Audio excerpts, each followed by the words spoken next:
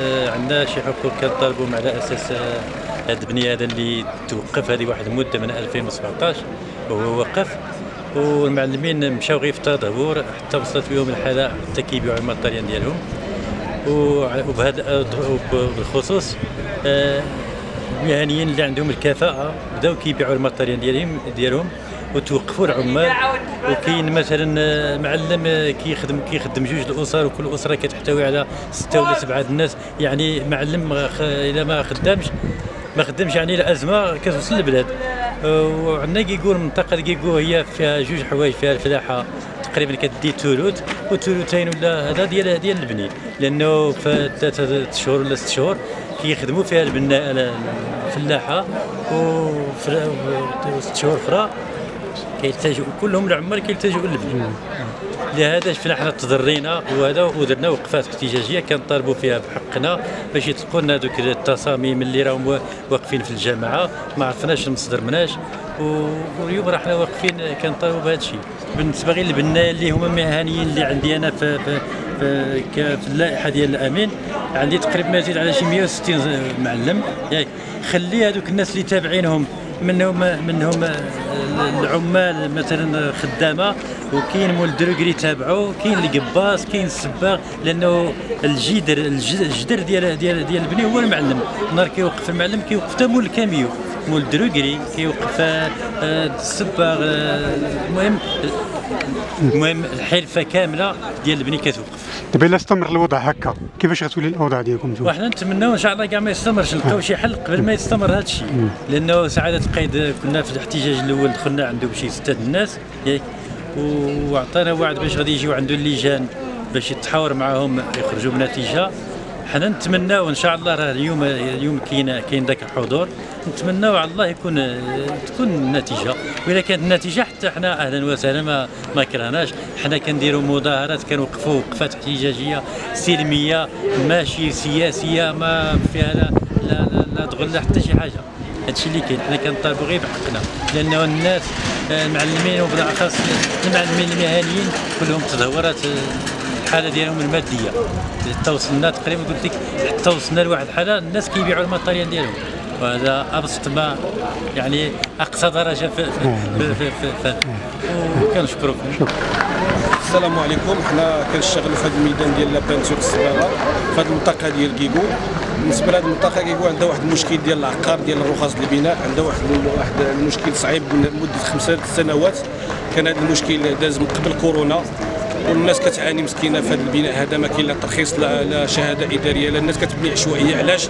لأن المشكل بغينا نعرفوا هو واش من الأرض واش من من الجماعة واش من من, من الإدارة بغينا نشوفوا هذا المشكل. هذا ثاني حاجة.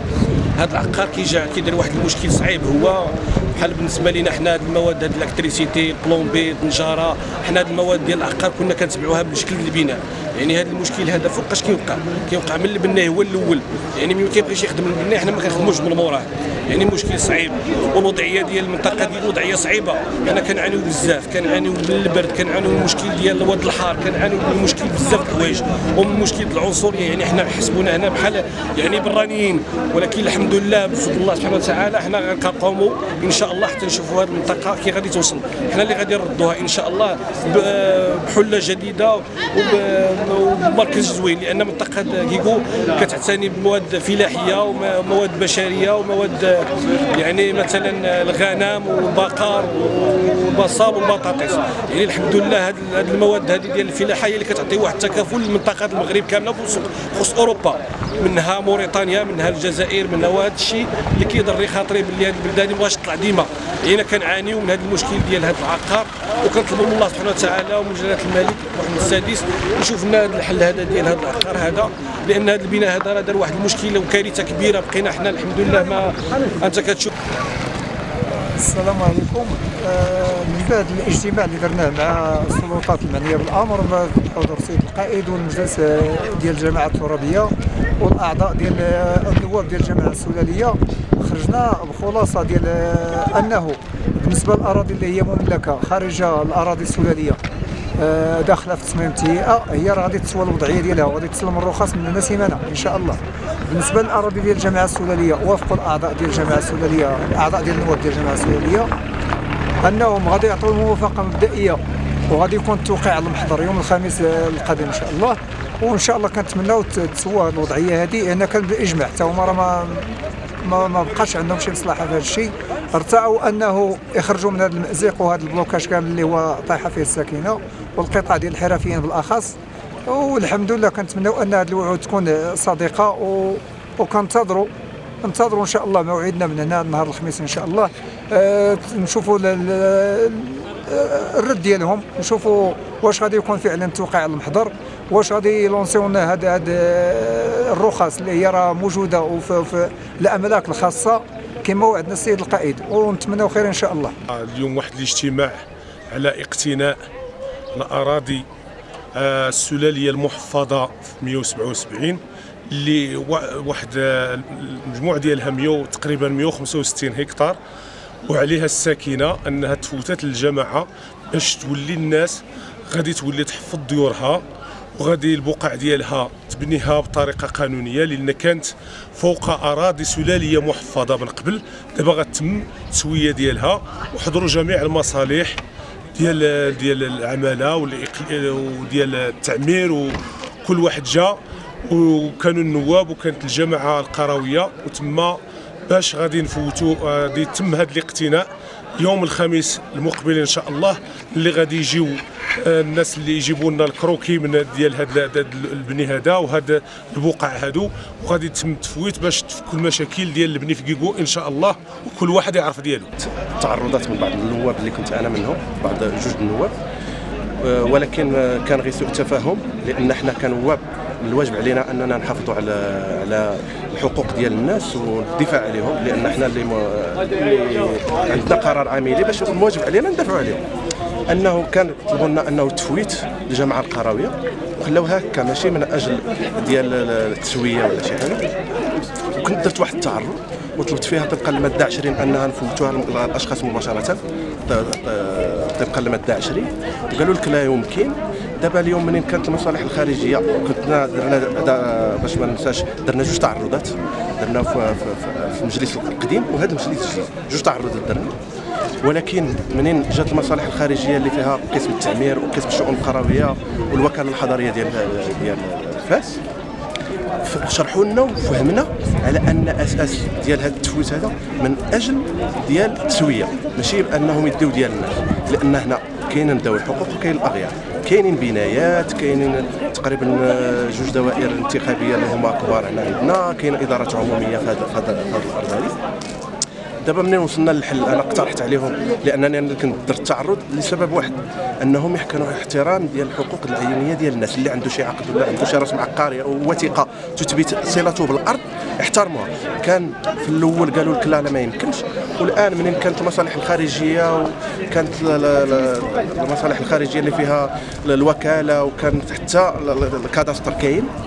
واتفقوا اتفقنا معهم على أساس أن نحطوا هذا الشرط. اللي عنده شي حاجة يحترموها له ما يقيسوهاش.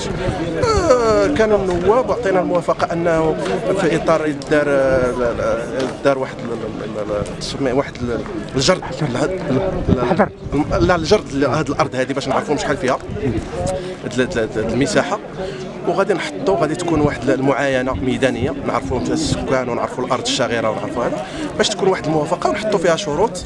والشرط أنا اللي كناكد ومازال كناكدوا أنه نحترموا الناس اللي عنده شي عقد أو وثيقه تثبت الصله ديالو بالأرض أنه تحترم وما نمسوهالوش باش ما نضيعوش الناس في الحقوق العينية ديالهم سواء كان سلاليه أو الأغيار لأنه ما كاينش اللي طاح من السماء ولا جا ترمى على شي أرض لأن السلاليه راه ناس المفرز ديالو وارثوا على جدو ولا هذا. والناس اللي من الأغيار ما مسجل في اللائحة ذوي الحقوق راه شرا وراه عنده واحد السند قانوني خصنا نحترموه. بالنسبة للقاء ديال اليوم كان لقاء تاريخي. على المستوى ديال جامعة كيكو فيما يتعلق بالمشكل ديال العقار السلالي وفيما يتعلق بالمشكل ديال التعمير على المستوى المحلي. فبعد نقاش وبعد مراسلة ديال المجلس القروي السيد العامل والتفاعل ديال السيد العامل مع جميع المراسلات اللي كانت من طرف المجلس القروي. اليوم تم عقد واحد الاجتماع موسع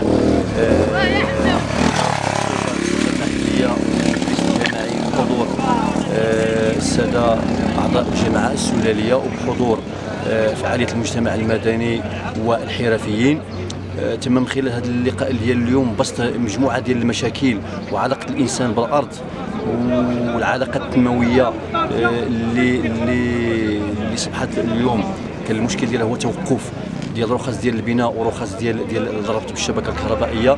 اليوم الحمد لله بعد التعليمات ديال السيد عامل صاحب الجلالة على إقليم بولمان تم اليوم إيفاد واحد واحد مجموعة ديال ديال ديال, ديال المصالح خارجية اللي شرحت اليوم واحد الاستفاضة آه، النوعيه ديال العقار والمشاكل والمساطر القانونية اللي كتنظم هذا الوعاء العقاري.